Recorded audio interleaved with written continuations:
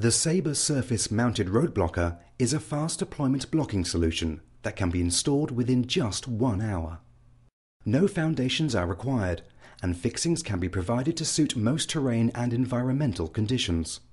The system comprises an RB880CR road blocker with a series of ramp kits tailored to meet specific site dimensions and an integral hydraulic power pack which can also be remotely located if required.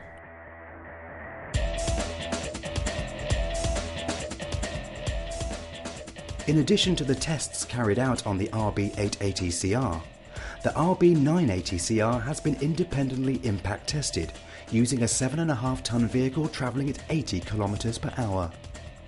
There was zero penetration and the blocker remained operational after impact.